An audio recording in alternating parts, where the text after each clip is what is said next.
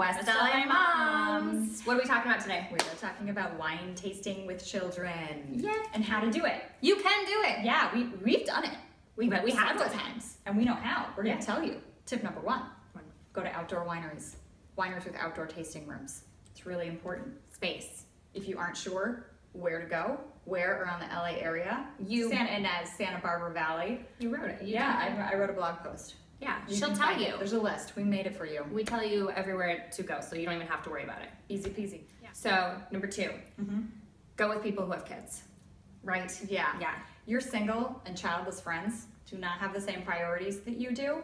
You want to go with other people who have kids, and preferably people who have kids that are worse behaved than yours. Oh. Yeah, that's gonna be Yeah. difficult for us. just, just, just go with Leah. Come with me. What's number three?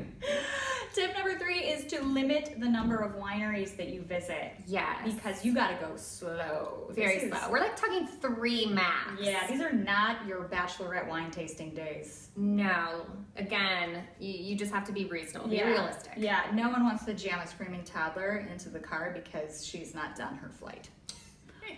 So, speaking of jamming the toddler in the car, Okay. what do we do about transportation? Oh, okay. So several things. You have several options. Depends on your family what you guys want to do. Yeah. So what have you done? Um, so we've gone with another couple with a child where we hired a driver. We had a big old SUV. We were able to put the two travel car seats in, and he drove us everywhere. So yay, responsible, happy, everyone. Yeah. Yeah. Um, and then we did it where because you're only going to three wineries, we had one dad drive and he just split a tasting at one of the wineries and Thanks, Dad.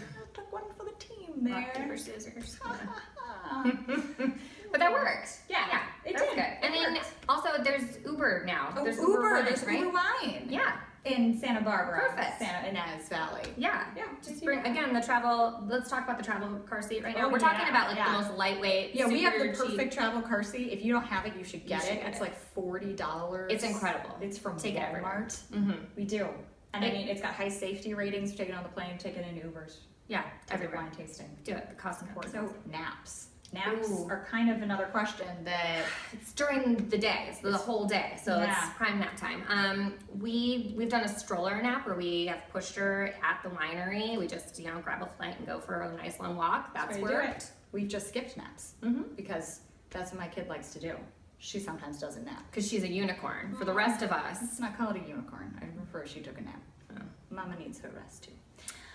But And- um, we've done it another way where that time that the dad drove, um, because we're wine tasting outside, we had a really magical setup where he just drove the car up to where we were tasting because one of the kids fell asleep in the car. Just opened the doors. It was under a shady tree. that's nice. You could do that if you had a hired driver too.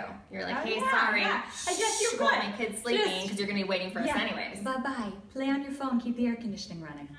Yeah, in general, you can do it. Just you keep your expectations low. And I think that's just general parenting advice. or life advice, Yeah. really. You'll just keep your expectations low. You'll You can only be happy. You'll always that. be Yeah. pleasantly surprised.